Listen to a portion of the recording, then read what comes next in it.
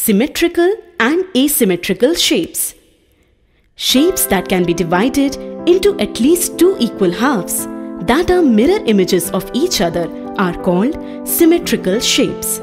Here are some shapes a tumbler, a stool, a triangle, and an octagon. Here is the outline of a factory building.